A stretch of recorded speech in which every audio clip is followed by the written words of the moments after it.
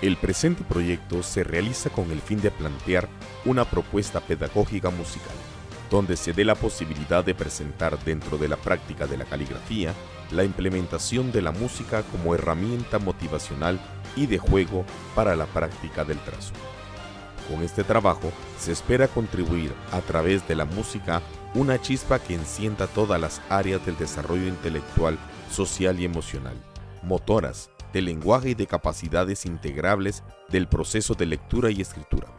Esto permitirá que la música sea vista dentro del sistema educativo como la gran organizadora que ayuda a que el cuerpo y la mente trabajen juntos, para que las niñas y los niños sientan atracción de bienestar y placer hacia los patrones y estructuras del trazo y la ejercitación caligráfica por medio de la música.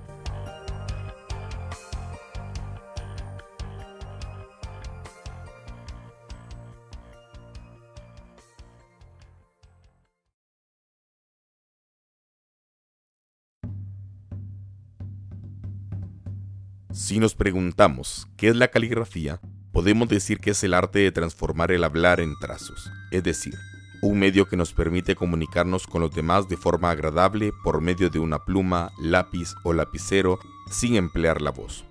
Por ello, podríamos separar la palabra caligrafía y definirla de la siguiente manera. Cali significa trazo, mientras que grafía significa descripción, es decir, es la calidad de la inscripción. La caligrafía nació hace aproximadamente 3.500 años. Sus inicios con mayor trascendencia se originan dentro de la cultura china, donde se conocen los primeros trazos utilizando como fondo el papel. Otras culturas, como la egipcia, desarrollaron el uso de los jeroglíficos, con la finalidad de dar a conocer la historia de un pueblo, su forma de pensar, vivir, sus avances en la ciencia, la matemática y la astronomía. Durante la Edad Media, cuando la caligrafía basada en la escritura alfabética tuvo su mayor apogeo, esta era utilizada para transcribir los textos que eran copiados por monjes que utilizaban el alfabeto latino para la transcripción de cada uno de estos, limitando de esta manera su difusión y utilización para el resto de las personas. Uno de los textos con mayor relevancia histórica de transcripción caligráfica es la Biblia. El arte de escribir, luego del invento de la imprenta de Gutenberg, causó un efecto de uniformidad al momento de transcribir un texto, ya que lo hacía por medio de grabados, los cuales maravillaron al mundo.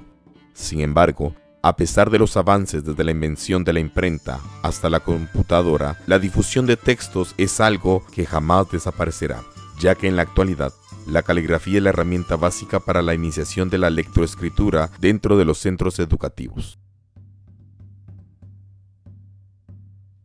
A través de la historia, sabemos que existen diferentes estilos, métodos y formas de caligrafía, pero nos centraremos en la occidental. Por ello, si buscamos en libros, métodos o textos, podemos darnos cuenta que la caligrafía más usada es la cursiva. Hoy en día, existen otros tipos de letras dentro de la caligrafía, pero la más común y comercial dentro de la enseñanza es la del método Palmer, de caligrafía comercial que es la letra cursiva sencilla que se usa en escuelas, colegios o incluso de forma empírica, ya que su trazo es sin sombra y de forma corrida por movimientos musculares.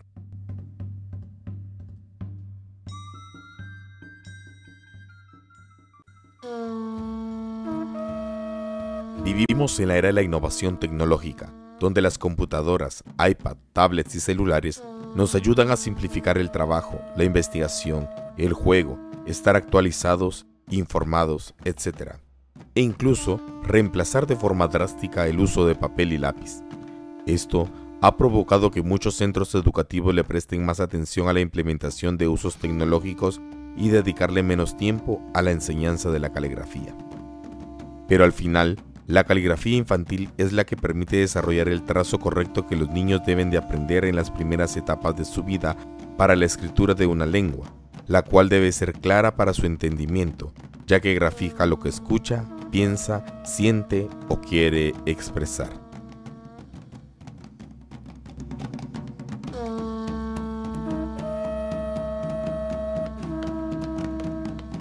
La musicoterapia es necesaria para saber que todo trabajo de proceso de aprendizaje a nivel psicomotriz y cognitivo, utiliza el interior y el exterior del ser humano.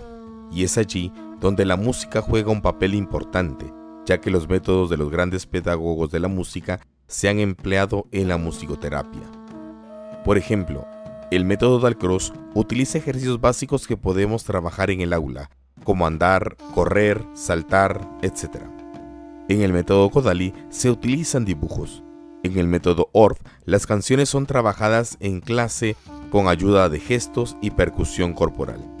El método Willem podemos utilizar en el aula instrumentos musicales o cualquier material que tengamos a la mano, volverlo un instrumento. El método Koshomal, sonido, y Silonem, movimiento, utilizado dentro de la cultura maya, es una propuesta holística de un trabajo colectivo, donde se mezcla la danza con la música, interiorizando un aprendizaje dinámico, interesante y contextualizado y vinculado con la realidad.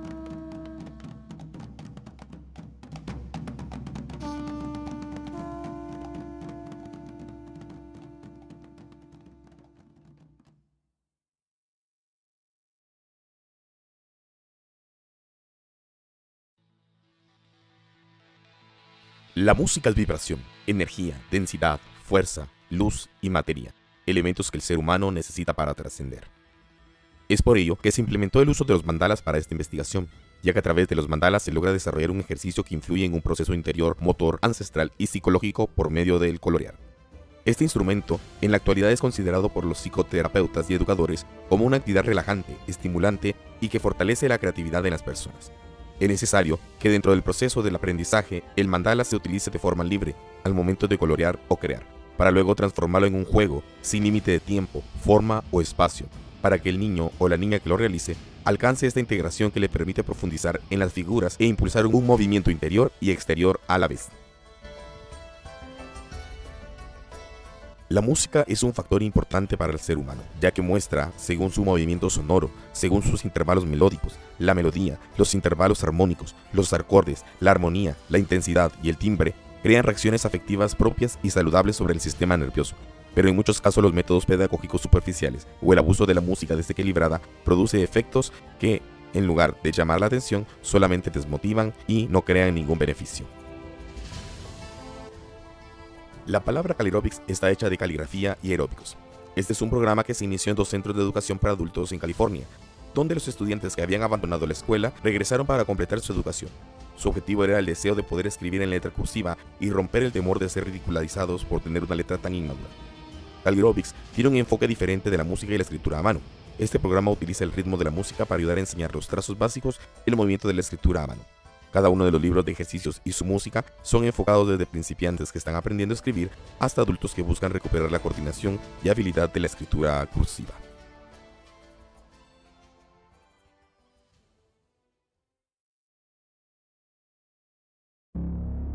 Este trabajo de investigación tuvo una parte práctica que se aplicó en la Escuela Rural Mixta número 604 Rosa Pardo de Lanusa, ubicada en la aldea de Las Vacas, zona 16 de la ciudad de Guatemala. Esta actividad se realizó durante ocho días durante el mes de marzo en sesiones de 30 minutos. El proceso que se utilizó para realizar el trabajo de campo fue la observación, aplicación de diferentes estímulos utilizando la música como una herramienta base para el trabajo de motricidad, destreza y aplicación para el trazo de la escritura. Distribución por fases de cada sesión que se realizó dentro del salón. Percepción, experimentación e intuición uso de material didáctico y musical, análisis de los ejercicios realizados y elaboración de conclusiones y recomendaciones. Con la metodología cualitativa dentro de este trabajo, se pretende afirmar que utilizando la música como una herramienta de estimulación, esta ayuda a la persona a alcanzar un buen trazo al momento de utilizar la letra cursiva.